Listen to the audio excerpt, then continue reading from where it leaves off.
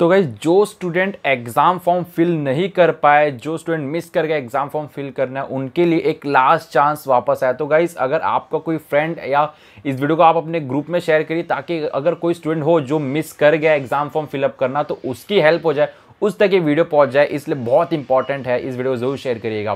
तो क्या जो भी स्टूडेंट एग्ज़ाम फॉर्म फिल नहीं कर पाए हैं, उनके लिए एक और मौका दिया है एस यूनिवर्सिटी ने। उनको एग्ज़ाम फॉर्म फिल करने का एक और मौका मिला है twelfth thirteen and fourteen July. यानी कि ये तीन दिन में उनको एग्ज़ाम के फॉर्म फिलअप करने हैं। ऐसा सर्कुलर जारी किया और सर्कुलर का लिंक डिस्क्रिप्शन में मिल जाएगा। मेरे टेलीग्राम चैनल पर मैं डाल दूँगा। और गाइज़ उनके एग्ज़ाम्स अब सोच रहे हो कि उनके एग्ज़ाम्स फिर कब होंगे? क्योंकि ट्वेल्थ जुलाई से तो एग्ज़ाम चालू हो गए। तो उनके एग्ज़ाम्स सेपरेटली अलग से एस कंडक्ट करेगी।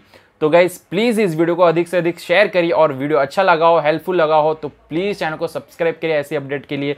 आपका भाई आपके लिए मेहनत करता रहता है और आगे भी करता रहेगा। चलिए मिलते हैं नेक्स्ट वीडियो में नेक्स्ट अपडेट के साथ। तब तक के लिए thank you very much for watching the video